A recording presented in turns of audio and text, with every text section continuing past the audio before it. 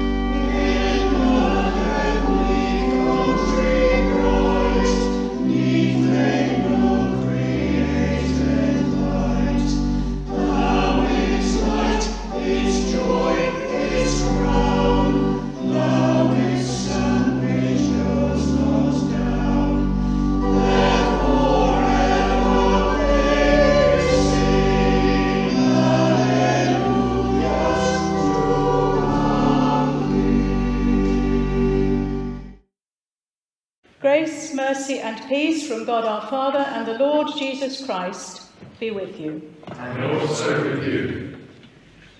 Christ, the light of the world, has come to dispel the darkness of our hearts. In his light, let us examine ourselves and confess our sins. God our Father, you sent your Son, full of grace and truth. Forgive our failure to receive him. Lord, have mercy. Lord, have mercy. Jesus, our Saviour, you were born in poverty and laid in a manger. Forgive our greed and rejection of your ways. Christ, have mercy. Christ, have mercy. Spirit of love, your servant Mary responded joyfully to your call. Forgive the hardness of our hearts. Lord, have mercy. Lord, have mercy. May the God of all healing and forgiveness draw you to himself, that you may behold the glory of the Son, the Word made flesh, and be cleansed from all your sins. Through Jesus Christ our Lord. Amen. Glory to God in the highest, and peace to his people on earth. Lord God, heavenly King, almighty God and Father, we worship you, we give you thanks, we praise you for your glory. Lord Jesus Christ, only Son of the Father, Lord God, Lamb of God, you take away the sin of the world. Have mercy on us. You are seated at the right hand of the Father. Receive our prayer. For you alone are the Holy One. You alone are the Lord. You alone are the Most High, Jesus Christ, with the Holy Spirit, in the glory of God the Father. Amen. Let us pray in the peace of this Christmas celebration that our joy in the birth of Christ will last forever. O God, who by the leading of a star manifested your only Son to the peoples of the earth, mercifully grant that we, who know you now by faith, may at last behold your glory face to face, through Jesus Christ our Lord, who is alive and reigns with you in the unity of the Holy Spirit, one God, now and forever. Amen. Amen. Hear the gospel of the Lord according to Luke. Glory to you, O Lord. This reading is from Luke chapter 2, verses 22 to 40. Jesus is presented in the temple. When the time came for their purification according to the law of Moses, they brought him up to Jerusalem to present him to the Lord. As it is written in the law of the Lord, every firstborn male shall be designated as holy to the Lord. And they offered a sacrifice according to what is stated in the law of the Lord, a pair of turtle doves or two young pigeons. Now there was a man in Jerusalem whose name was Simeon. This man was righteous and devout, looking forward to the consolation of Israel, and the Holy Spirit rested on him. It had been revealed to him by the Holy Spirit that he would not see death before he saw had seen the Lord's Messiah. Guided by the Spirit, Simeon came into the temple. And when the parents brought in the child Jesus to do for him what was customary under the law, Simeon took him in his arms and praised God, saying, Master, now you are dismissing your servant in peace, according to your word. For my eyes have seen your salvation, which you have prepared in the presence of all peoples, a light for revelation to the Gentiles, and for glory to your people Israel. And the child's father and mother were amazed at what was being said about him. Then Simeon blessed them and said to his mother Mary, This child is destined for the falling and rising of many in Israel, and to be a sign that will be opposed, so that the inner thoughts of many will be revealed, and the sword will pierce your own soul too. There was also a prophet, Anna, daughter of Phanuel, of the tribe of Asher. She was of great age, having lived with her husband for seven years after her marriage, then as a widow to the age of 84. She never left the temple, but worshipped there with fasting and prayer, night and day. At that moment she came and began to praise God and speak about the child to all who were looking for the redemption of Jerusalem.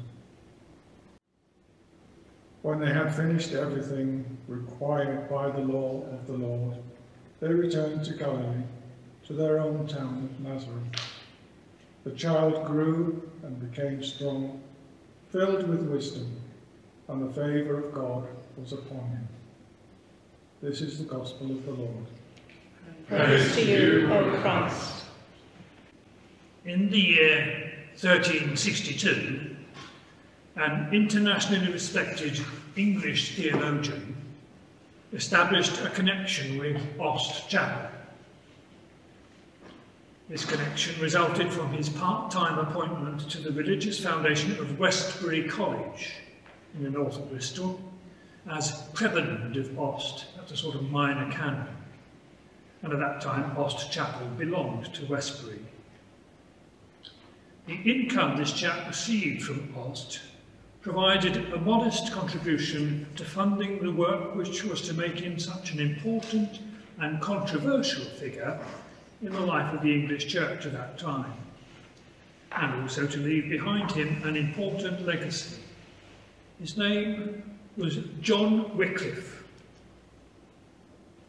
Wycliffe, Wycliffe was born about 1360, ordained probably about, sorry, born in, 19, in 1330, ordained in about 1360, and in the course of a very successful career, he became well known in academic and government circles even. Since 1349, that's just over a decade before Wycliffe's contact with Westbury, England had been devastated by the Black Death pandemic. With Bristol well in the van and still struggling to resume normal living. So Wycliffe was a man who knew all about life's insecurity.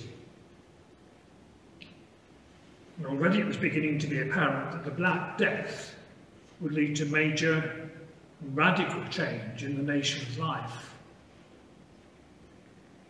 Wycliffe became increasingly concerned about the need for radical change in the life of the church as well. Too many things hampered people's understanding of the gospel rather than enabling them to live by it. And his message struck a chord with people from a variety of backgrounds. But there, I'm afraid, were lots of opposed, opposing vested interests as well. Amongst his enemies were those who, poor chap, after he died in Leicestershire, his bones were dug up 20 years later and thrown into a river, the River Swift, which flows into the Avon, which flows into the Severn, which comes down past Aust, where he'd been the prebend. Never mind that, there are three aspects of his work which illustrated what he most cared about. He was passionately concerned with the church's practice and the message, which was insufficiently reflected in biblical teaching and the writing of the early church fathers. And it was too heavily influenced by matters which had been added over the centuries. He wanted to get back to the original. And he felt that the more that people of all backgrounds could know and understand the Bible in their own language, not in Latin, understand their own language for themselves, the better it would be for them. And that became the cause for which he's best known and remembered. Secondly, he felt strongly that organisationally there was a wide gulf between the public face of the church in the world and the true reality of the church as the body of Christ on earth. For example, two centuries earlier, there had been radical, fresh initiatives which had revitalised the church. I'm thinking of monasticism in particular. Over time, they'd also generated huge influence and resources and had become a little bit set in their ways. And Wycliffe was not the only critic who felt that the funds associated with monastic foundations could be more widely and beneficially shared. But what brought the full weight of the church's wrath upon him was his questioning of the understanding of the Mass as then offered to people. and his teaching was viewed as an attack on the church at the most sacred point in its life. And he was quite wrongly accused of devaluing the Holy Sacrament itself. And as a result, Wycliffe lost all positions of influence and lived out the remainder of his time in a little parish in Leicestershire, Lutterworth, still advocating change and increasingly preoccupied with the need for an English translation of the Bible, not in Latin, let alone the original Greek. The pressure on Wycliffe was enormous, but his courage was unshakable, and the potential threat to his life was very real. But what Wycliffe also had was the strong personal loyalty and support of a group of close friends and followers who valued his spiritual leadership and who in due course ensured the completion and publication of an English translation of the New Testament at least. The distribution of copies, each laboriously written by hand, this is before the days of printing, was a strictly illegal exercise. And ownership of a written out gospel also carried severe penalties. But the extent to which these copies were cherished is reflected in the number which survived. Go to a lot of Oxford and Cambridge colleges and many of them got a copy. And Bristol and Gloucestershire in particular were important locations for Wycliffe's message and uh, of his followers, whom we know later as the Lollards. Now today, a translation of the Wycliffe Bible is available in modern English. I have to say it's not always an easy read, but it's fascinating how phrases in the Wycliffe Bible can suddenly provide a new perspective on familiar texts. In today's Gospel reading, for example, we're familiar with Simeon's comment to Mary on the pain to come. A sword will pierce your heart. The Wycliffe version puts it more strongly. A sword shall pass through thine own soul, is how Wycliffe puts it. My favourite bit of Wycliffe is the translation of the phrase, do not be afraid. Remember the angel's message, do not be afraid, the message to the shepherds. In Wycliffe, it reads, nil ye dread, nil ye dread. Dread, rather fear, is a very powerful concept. But in the time of Jesus, and also in the circumstances of his death, dread was a familiar and lived reality for many. But nil ye dread, giving way to joy, as the angels had said, was a remarkable message of hope and reassurance in their circumstances. So perhaps it's worth pondering also in our current circumstances today in this pandemic we're suffering from. Nil ye dread. Do we really believe it? Shall we stand to declare our faith in God?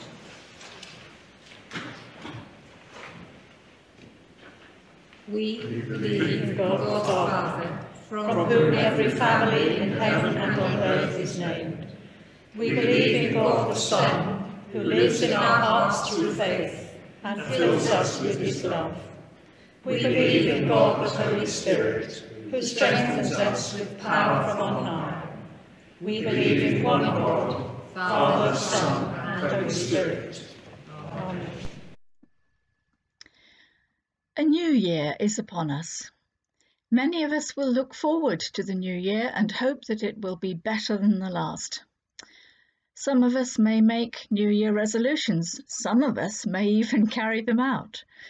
But perhaps the biggest difference we can make is to pray, trusting that our Heavenly Father loves each of us and wants our very best. We can all pray for the world, for our leaders, pray for ourselves, and for each other. So let's pray. When I say, O Lord, I invite you to respond, Hear our prayer.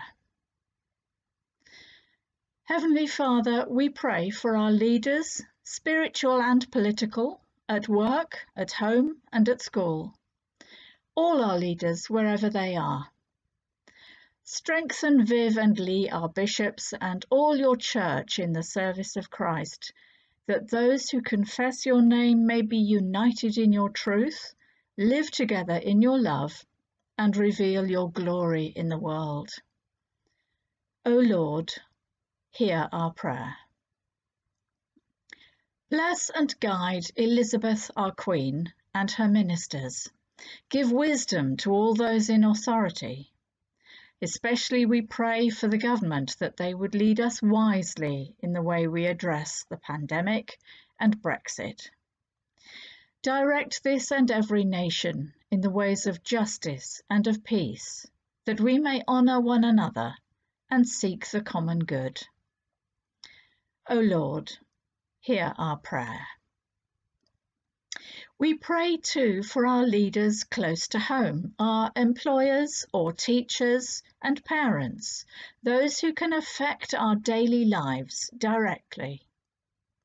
We pray that you inspire those who lead us to do so with fairness and care, in loving kindness, in ways that will direct us well. O Lord, hear our prayer. Thank you for our gifted healers, for those who work as doctors and nurses and support staff in the NHS, those who work as carers, and all those who comfort and support others. We ask you, Father, our ultimate healer, to comfort and support, encourage and heal all those who suffer in body, mind, or spirit. We pray especially for those unexpectedly separated from their loved ones at this time of the year. Give each of them courage and hope in their troubles and bring them the joy of your salvation. O Lord, hear our prayer. And now a prayer for ourselves. Help us, Lord, to see how we may best serve our families and friends and all our neighbours, that we may serve Christ in one another and love as he loves us. O Lord, hear our prayer. Merciful Father, accept these prayers for the sake of your Son, our Saviour, Jesus Christ. Amen. The peace of the Lord be always with you. And also with you. Let us offer one another a sign of peace.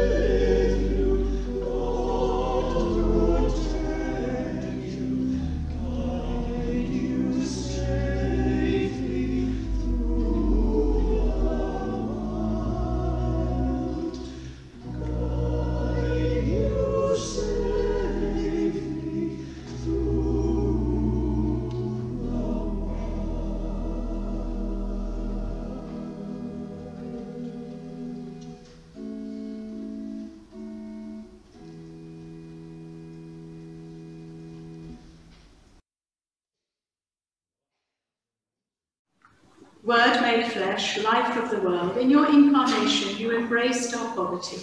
By your Spirit, may we share in your riches. Amen. The Lord be with you. And also with you. Lift up your hearts. We lift them to the Lord. Let us give thanks to the Lord our God. It is right to give thanks and praise. All glory and honour be yours, always and everywhere, mighty Creator, ever living God. We give you thanks and praise for your Son, our Saviour, Jesus Christ, who for love of our fallen race humbled himself and was born of the Virgin Mary by the power of your Spirit and lived as one of us. In this mystery of the Word made flesh, you have caused his light to shine in our hearts, to give knowledge of your glory in the face of Jesus Christ. In him we see our God made visible, and so are caught up in the love of the God we cannot see. Therefore, with all the angels of heaven, we lift our voices to proclaim the glory of your name and sing our joyful hymn of praise. Holy, holy, holy Lord, God of power and might, heaven and earth are full of your glory. Hosanna in the highest. Blessed is he who comes in the name of the Lord. Hosanna in the highest. How wonderful the work of your hands, O Lord. As a mother tenderly gathers her children, you embraced a people as your own.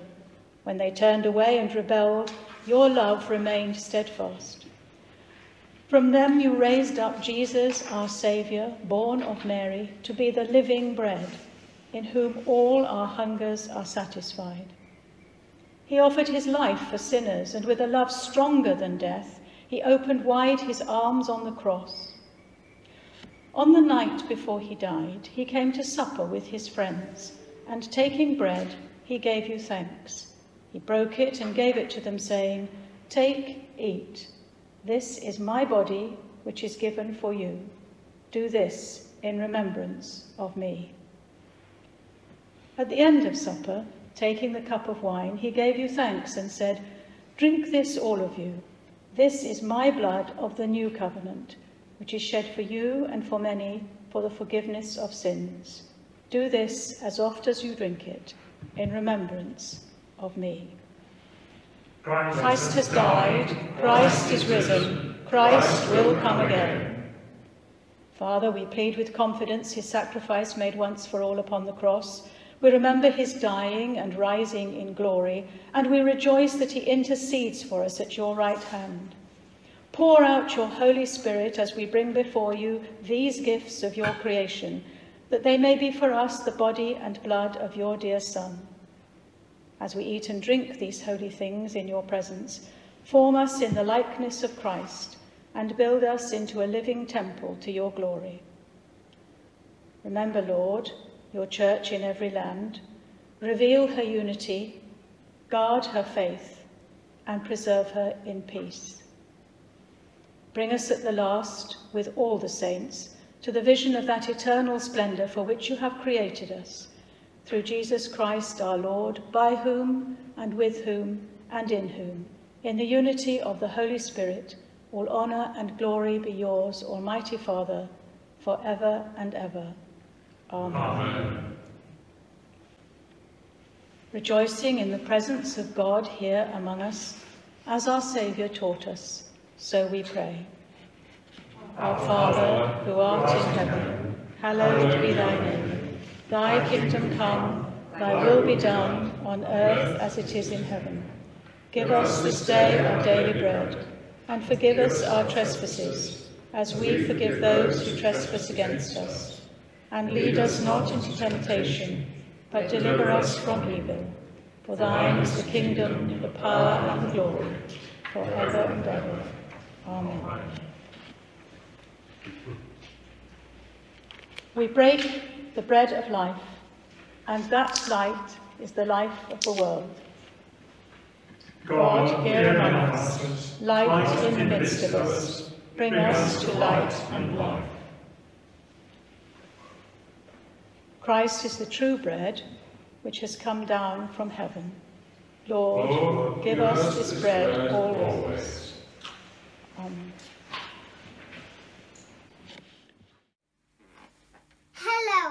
everyone. I hope you had a lovely Christmas and I wish you all have a very happy new year.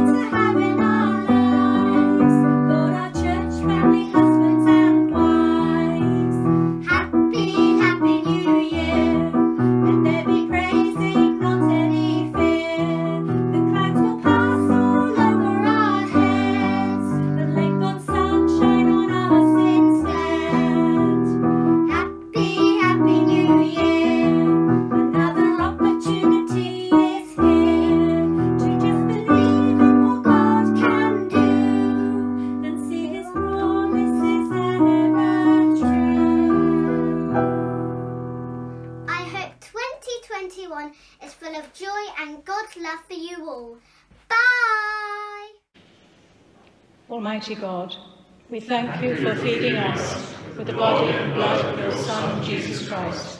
Through him we offer you our souls and bodies to be a living sacrifice. Send us out in the power of your Spirit to live and work to your praise and glory. Amen.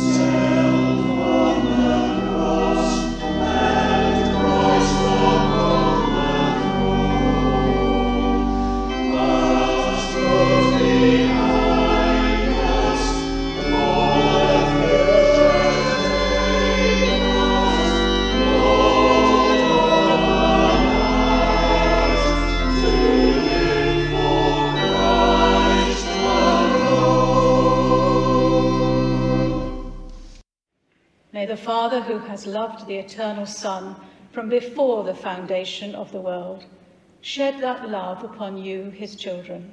Amen.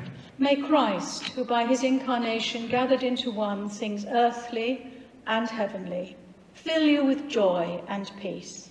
Amen. May the Holy Spirit, by whose overshadowing Mary became the God-bearer, give you grace to carry the good news of Christ.